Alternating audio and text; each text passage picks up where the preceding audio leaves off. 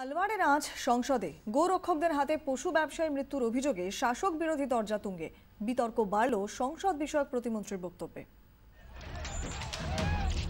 আলবারের ঘটনাকে কেন্দ্র করে তপ্ত সংসদ রাজ্যসভায় তুমুল বাগযুদ্ধ ये सब गैंग है ऑर्गेनाइज गैंग राजस्थान में है गुजरात में है मध्य प्रदेश में है उत्तर प्रदेश में शुरू हो रहा है it is a complete breakdown of the constitutional machinery मैं मांग करता हूँ राजस्थान की सरकार को बर्खास्त करना चाहिए জবাব দিতে উঠে সংসদ বিষয়ক প্রতিমন্ত্রী যা বললেন তাতে বিতর্ক বেড়ে গেল this issue is a very sensitive issue हमारे इस सदन से ये मैसेज नहीं जाना चाहिए कि हम गो हत्या को समर्थन कर रहे हैं पर्टिकुलर स्टेट की बात कर रहे हैं उस तरह की कोई भी घटना जिस तरह की घटना पेश की जा रही है ऐसी कोई घटना जमीन पर नहीं हुई है এই মন্তব্যের পর আরো চেপে ধরে Congress Hindu cow vigilance in Rajasthan, in India, beat Muslim to death.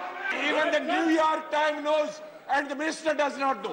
দুপক্ষই যখন সুর চড়াচ্ছে তখন এগিয়ে আসেন রাজ্যসভার deputy chairman I want to know the correct position. I'm asking the minister uh, to convey to the home minister to get inquire and get a report to the house. লোকসভায় আলওয়ার প্রসঙ্গ তোলেন কংগ্রেস সাংসদ মাল্লিকার্জুন খার্গে গোরক্ষার নামে সংখ্যালঘুকে হত্যা রাজস্থানে পঞ্চম ঘটনা বলে দাবি করেন তিনি জবাবে রাজনাথ সিং বলেন, রাজস্থান সরকার আলওয়ারের ঘটনায় আইনি পদক্ষেপ করছে। লোকসভায় কেন্দ্রীয় স্বরাষ্ট্রমন্ত্রীর এই বিবৃতির পর বিজেপির মুখ পুরল বলেই মনে করছে বিরোধী শিবির। কারণ রাজ্যসভায় দাঁড়িয়ে আলওয়ারের হত্যার অভিযোগ পুরোপুরি অস্বীকার করেছিলেন নাকভি। কিন্তু রাজনাথের বক্তব্যেই তা খণ্ডন হয়ে গিয়েছে বলে মনে করছেন বিরোধীরা। এমন দিনে বিনতে ছাড়েননি রাহুল গান্ধীও।